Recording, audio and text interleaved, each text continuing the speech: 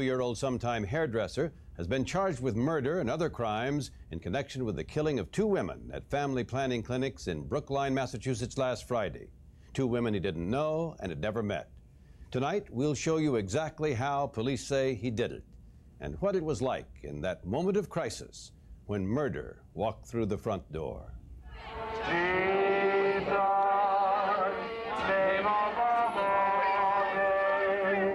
There have been demonstrations over abortion rights at Boston area clinics for years. Free safe murder on demand. But no real violence. Until last Friday. Then I heard what sounded to me like a cap gun. Uh, pow, pow, pow, pow. The thing that entered my mind was I've got to save those girls. I've got to make him stop. I found our receptionist on the floor dead, and that broke my heart. It happened in the Boston suburb of Brookline. Police Chief Howard Brackett. At about 10.04, all of a sudden an emergency call came in on the 9-11 that they, we had a shooting at 1031 Beacon Street. Moments before, a young man dressed in black and carrying a duffel bag had walked up these steps and into the Planned Parenthood clinic at 1031 Beacon Street. A woman who wants only her first name, Peggy, to be used, was inside a counseling room across a hallway from the main reception area when she heard those shots. Uh, pow, pow, pow, pow. I heard four.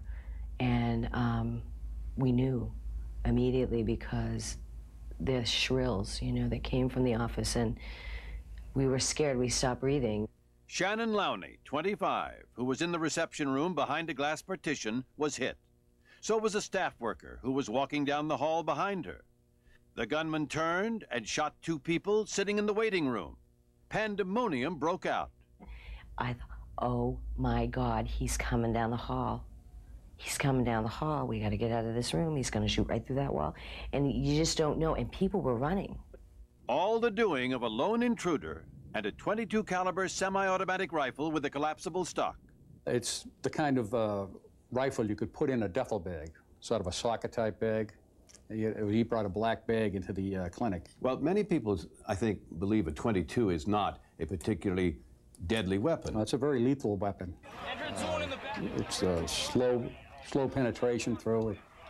It uh, breaks up, can break up a person pretty bad. 22. Three of those shots survived, but for Shannon Lowney, the receptionist, her life was over. The physician who was on duty here uh, ran immediately uh, to Shannon and uh, tried to uh, administer uh, uh, emergency procedures. And Nicki Gamble is president of the Planned Parenthood League of Massachusetts. He was simply too late. The wound was too devastating. She died instantly. That's right. She was loved by everyone in this clinic. She was gracious and helpful to everyone who came in here. She was just splendid. Probably no more than a minute passed between the time the gunman walked in until he walked out, leaving behind such awful carnage. But it was not over. Just up Beacon Street, about a mile and a half away, is the preterm clinic. And he hit that one next. I heard the shots. An employee of preterm, who is afraid to be identified, was in a nearby office. And I thought, quite frankly, that they were electrical explosions. They were pop, pop, pop, pop, pop. The gunman had walked in the door to the reception area and confronted Lee Ann Nichols, 38, who was seated at a desk.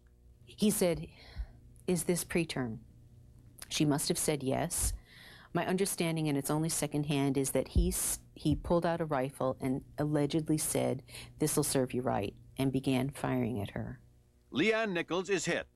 Another employee standing by a nearby copying machine is hit and falls to the floor. The gunman walks over, apparently intent on finishing her off. Then fate intervenes. I think I surprised him because he wheeled around and looked at me. Richard Seron, a security guard at the clinic, was in the stock room when he heard the shots. He drew his pistol, came through the door, and confronted the intruder. He raised his muzzle towards me, and I raised my uh, pistol to about shoulder height and let go one blast, and he began spraying my positions. Seron was hit in the shoulder, the arm, and the hand, but kept firing. With this fellow who looked like the devil himself, blazing eyes and a horrific, uh, scowling expression on his face, cursed me, saying, In the name of the Mother of God. What did that mean to you? That he thought he was doing a righteous deed, a majestic act, but his face looked rather insane to me. The gunman fled, still firing his weapon, and disappeared. Back inside the preterm clinic, the woman shot by the copying machine was alive. But for Lee Ann Nichols, it was too late. I saw the most pitiful sight that I've ever seen. Uh, her uh, body just dumped on the ground, so to speak, face down in a huge pool of blood. It was a very sad thing. She was a wonderful woman. She had a wonderful, open, sweet personality. She was very kind. The accused gunman, John Salvi III, is in jail in Norfolk, Virginia, where he was captured last Saturday. Tomorrow morning, prosecutors will seek his extradition to Massachusetts, where federal authorities are considering trying him under a law that would allow them to seek the death penalty.